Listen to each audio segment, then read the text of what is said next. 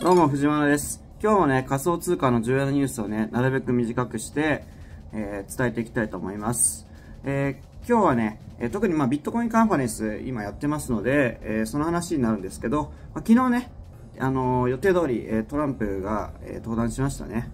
えまあ、大統領選の、まあ、票集め的な位置づけっていうのも結構大きいと思うんですけども、まあ、仮想通貨については、えーアメリカをね、仮想通貨の首都にする、まあ、ビットコインの首都にするみたいな言い方をしてて、まあ、だいぶね、離れてしまった仮想通貨企業を、やっぱりアメリカに呼び戻したいみたいなね、まあ、思惑が結構あるのかなと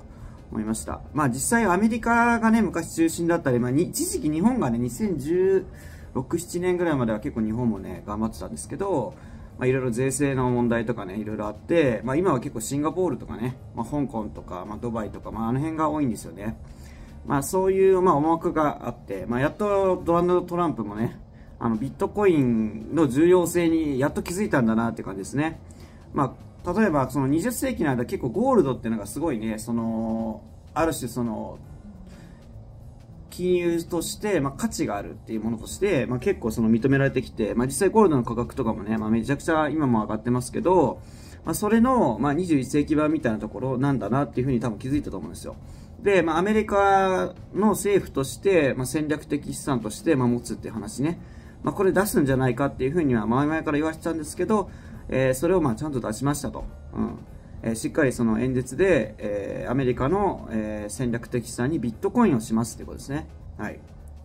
で、えー、まあ予定通りのね、あの話だったので、まあセルザファクトっていう感じで価格の方はですね、まあ落ち込みましたね。えっと、6万9400ドルまで上がったんですけど、今は6万7000ドルぐらいまでね、一旦調整してますが、えっと、チャートについては、まあ特に問題ないかなと思います。まあよくある動き、えー、まあトランプさんが登壇するから期待で上がっていったけど、まあ登壇したら、まあ予定通りの話が中心だったので、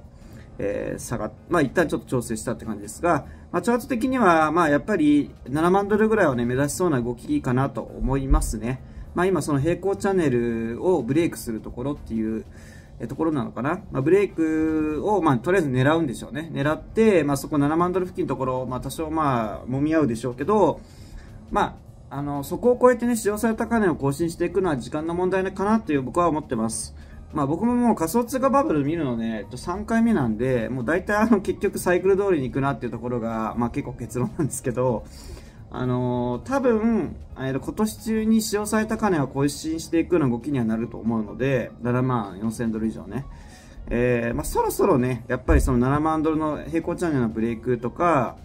えー、まあ秋頃ぐらいまでには、まあ使用された金の更新とか、まあなるんじゃないかなとうん。まあ、遅くても年末までにはとかね、いうふうには思ってます。はい。あとちょっとトランプさんの話に戻って、で、トランプさんね、まあ、いろんな話をしてましたが、え、一つね、あの、SEC のゲンスラ委員長については、あの、自分が大統領だったら解任するっていう話をしてましたね。えっ、ー、と、もう僕のチャンネル普段見てる方はわかると思いますが、まあ、SEC っていうね、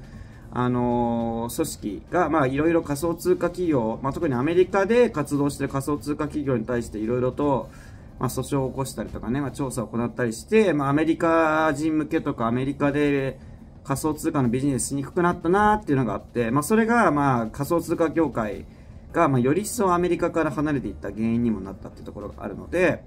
えー、まあ、ゲンスラ委員長は、まあ、やっぱりふさわしくないと。仮想通貨をアメリカで盛り上げるためには、まあ、やっぱり邪魔な存在だなっていうふうに思ってるみたいで、解任するっていう動きになっているみたいです。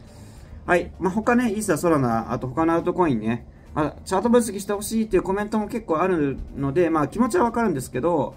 まああのー、まあ長く仮想通貨やってる人ほどわかると思いますが、まあビットコインがやっぱり上げてこないと、アルトコインはもちろん全然上げてこないので、えー、あんまりね、その上げてない、あのー、こう、割と今調整して結構そこを張ってるようなアルトコインが、もうチャート分析したってあんまり僕は意味ないかなと思ってますので、えー、しません。えっと、あとキャンペーンとしては、えっと、ビットゲットが新規登録で1000ドルのボーナス、15万ぐらいもらえるってキャンペーンやってますので、えー、ぜひコメント欄とか、えー、概要欄のリンクから登録してみてください。えー、今日の動画が役に立ったって方はチャンネル登録と動画のグッドボタンお願いします。最後までご視聴ありがとうございました。藤原でした。また明日。